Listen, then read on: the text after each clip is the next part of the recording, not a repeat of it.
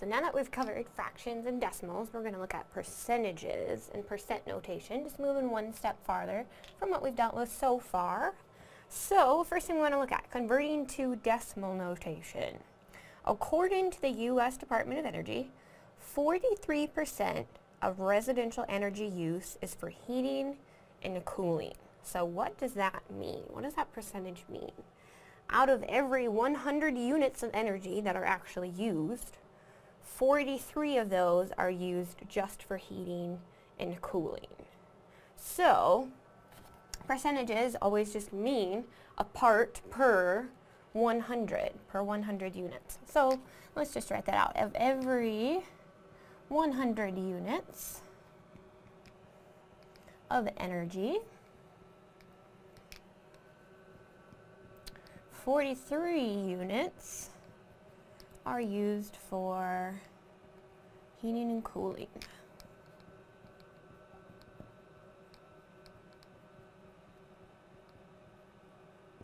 Okay, so we could say that big long sentence and get the point across, or we can just say 43%. 43% is used for heating and cooling. Simplified, a lot easier to speak and to say. So percentage means per 100, whatever units we're talking about, energy units in that case. So notation for percentage. We have a bunch of different forms that are all equivalent. N percent, and you have it in your little box, N percent means N times 0.01. Okay, because it's per 100. So we have, you know, the tens in the hundreds place. So N per 1 one hundredth of a unit. Or another way we could, we could write it equivalently is in fraction notation. 1 out of every 100 times whatever units we're working with and the number of the units that we have. Or if we want to rewrite that, could even just say multiplying straight across the top, straight across the bottom, I've got n over 100 units. They all mean the same thing, n percent. So whichever form you're most comfortable with, you can run with and we'll go from there. So, the U.S. Department of Energy has determined that on average, 8% of residential energy use is for electronics. That seems really small to me, but maybe it's just because I have a brother that games all the time and I've seen it. but we want to convert 8% to decimal notation.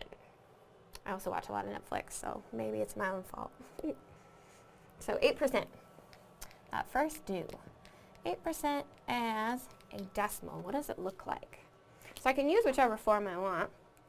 I'm going to use that first one. And what number do I have on the front of my percentage? I have 8 times, again, per 100 units, 0.01. So what do I get out? 0.08. 8% as a decimal or as a percentage. They represent the same thing, but again, different language and we use um, them in different contexts. Because I don't want to say, okay, so U.S. Department of Energy has determined that on average 0.08 times the residential energy use is used for electronics. Doesn't feel very natural. We usually talk in terms of percentages. We know how to um, conceptualize those.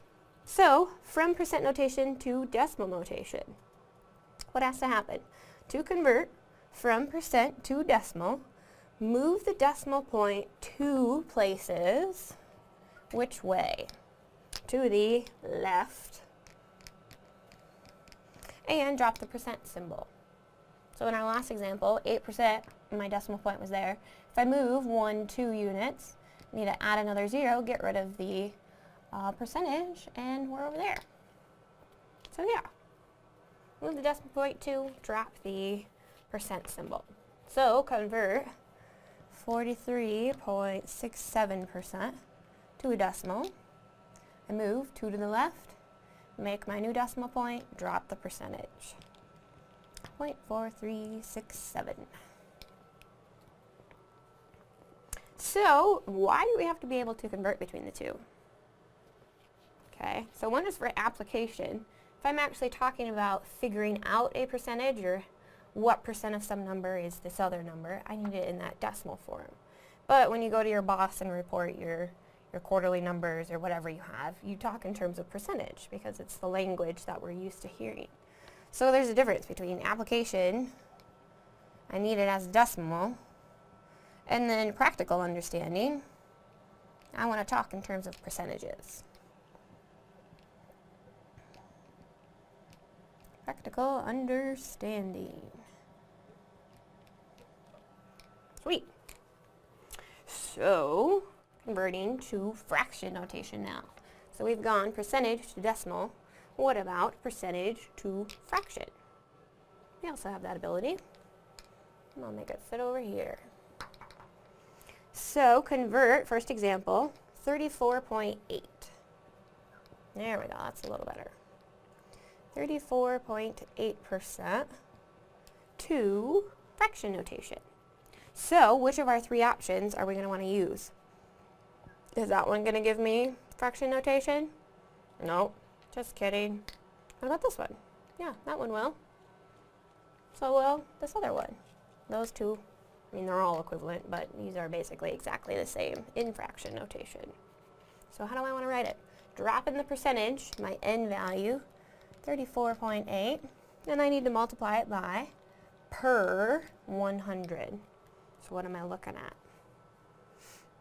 First of all, if I just multiply across, I have a decimal inside of a fraction. I don't like that. I want to have whole numbers in my fractions. So what do I have to do to get rid of that decimal point? To move it one to the right, so now I'm dealing with a whole number. But if I do that, what also has to happen down here? I also need to move that one another factor, add another zero. So we're looking at 348 over 1,000. Okay, so we don't want to ever see decimals inside of fractions. Just stick to one notation. We don't want to overwhelm ourselves. All right. So one for you. In 2012, 11% of adults ages 18 to 49 had four or five credit cards. That's a lot of information, a lot of numbers. Which numbers of those do we actually care about? Convert 11% to fraction notation. That's our percentage. It doesn't matter how old they are or how many credit cards they have. We're dealing with 11%. So go ahead and write 11% as a fraction.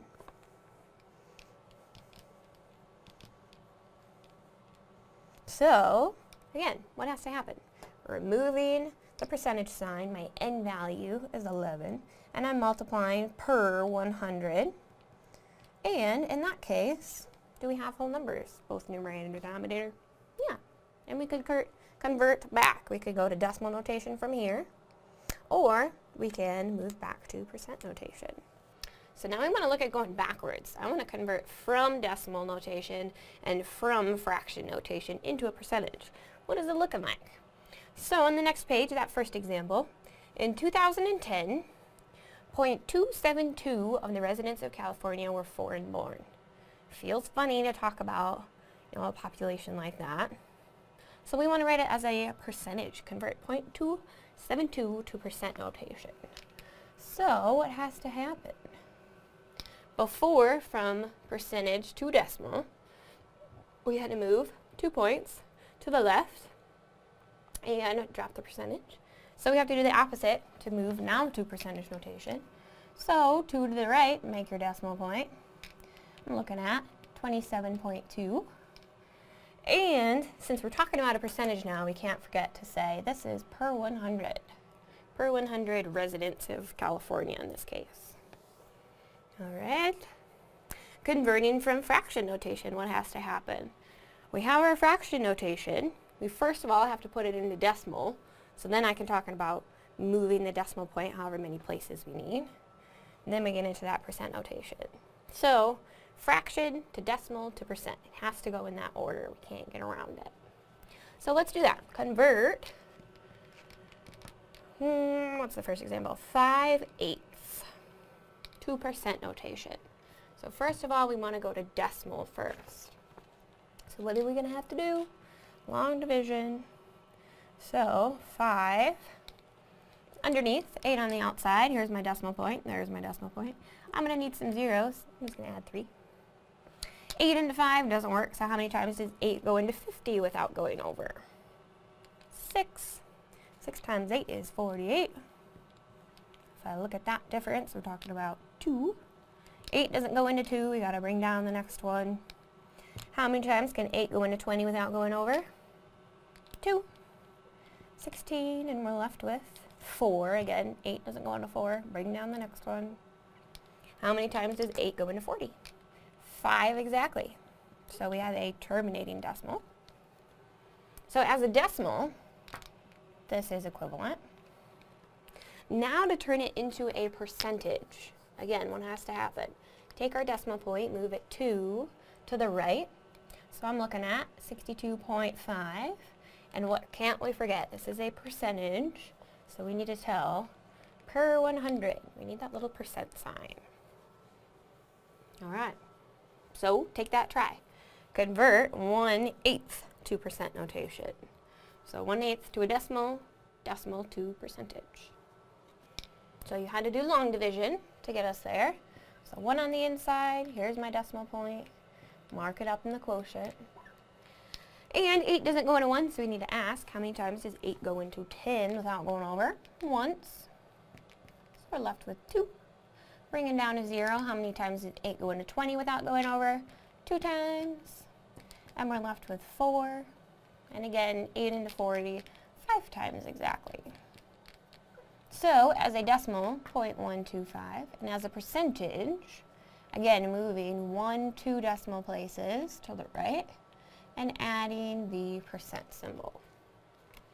So all three of those are equivalent, but again, different context for which ones we want to use where.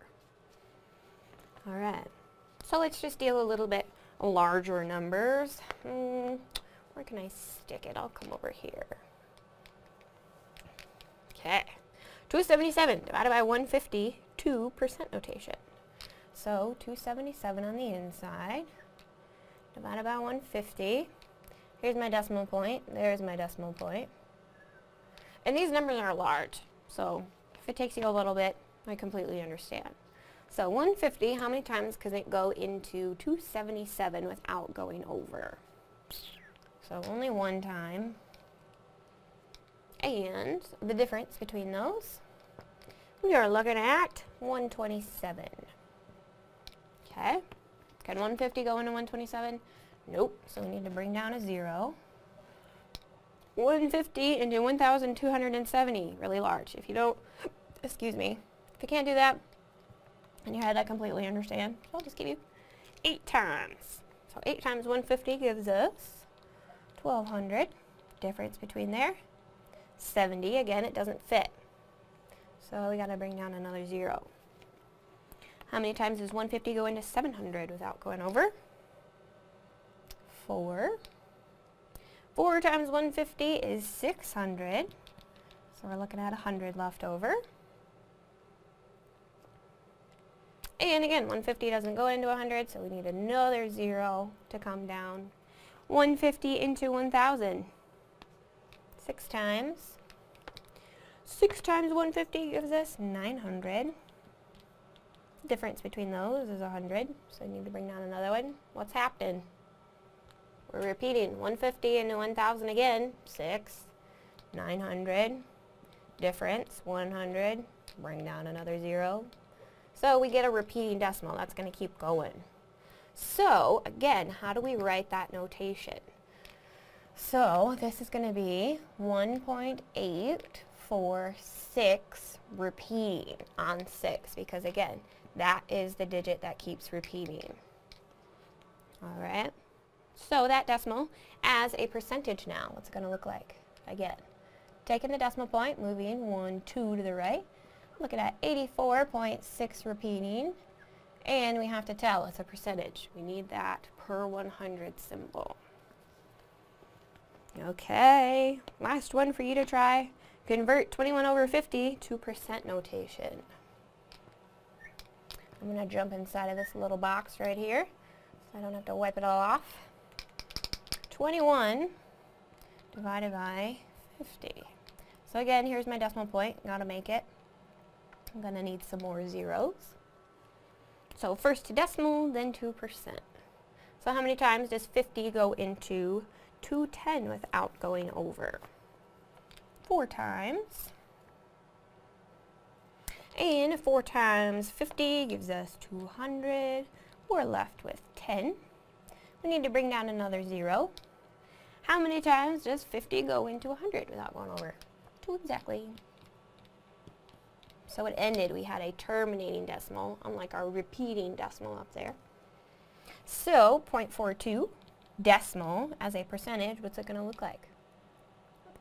Moving 2 to the right, 42%. Awesome! So, we need to be able to convert between all those different forms, because in different contexts, we want to use a different form of that percentage.